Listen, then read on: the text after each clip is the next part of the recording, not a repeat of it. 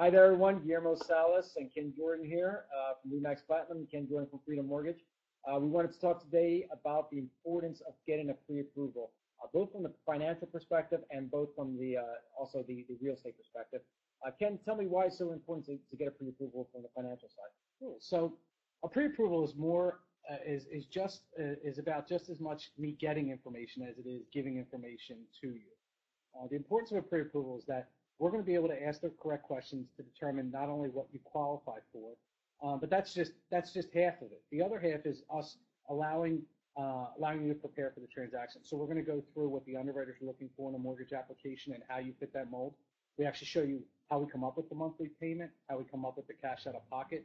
That way, if you do find something you like and you have your pre-approval letter, that's that's great. But you're also prepared to take that next step, um, which would be to put an offer in. Right. And that's usually important from a financial perspective. When we talk about the process, it, it is a process. I mean, this is the, in many cases, the largest financial transaction in many people's lives.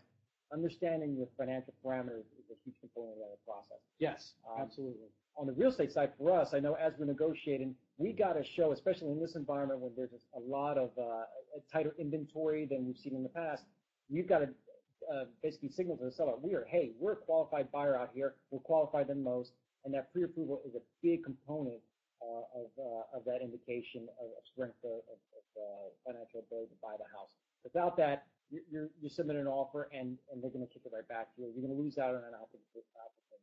I think a pre-approval, uh, it, when you put an offer in, a seller obviously knows you're willing to buy their house because you put in the offer. But the key is, are you ready and are you able? So and capable, right? Yep, yeah. Absolutely. So so ready, willing, and able is is, is what we're looking for, and, and, and that's how you know when, when you're ready to take that next step. Great, awesome. Well, thank you, Ken, for joining us today. Hey, everyone, we're going to try to do these uh, informative sessions from time to time. If you have any questions, our contact information is down below.